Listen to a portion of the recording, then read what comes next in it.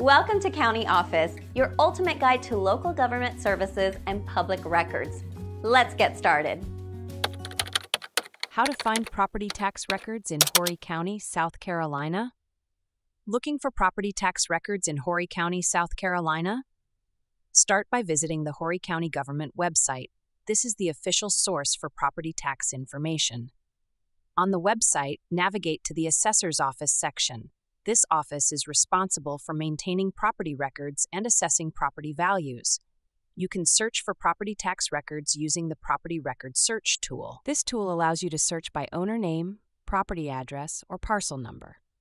If you search by owner name, enter the last name first, followed by the first name, for example, Smith John. When searching by property address, include the street number and name, for example, 123 Main Street. If you have the parcel number, enter it exactly as it appears on your property tax bill. This is often the quickest way to find records. Once you have entered your search criteria, click the Search button. The system will display a list of matching properties. Select the property you are interested in to view detailed tax records. This includes the assessed value, tax amount, and payment history. You can also view property maps and other related documents. These are useful for understanding property boundaries and other details.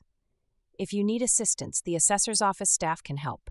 You can contact them by phone or email. Their contact information is available on the website. For those who prefer in person assistance, visit the assessor's office at the Horry County Government and Justice Center.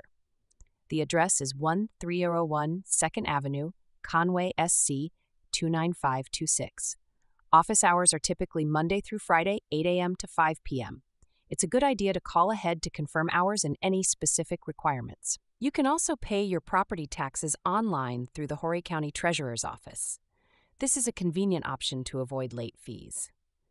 Remember to have your parcel number and payment method ready when paying online.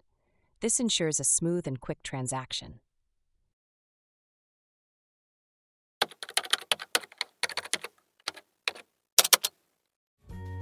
To learn more, check out these links, which you can click in the description below. And feel free to comment your questions. We're here to help.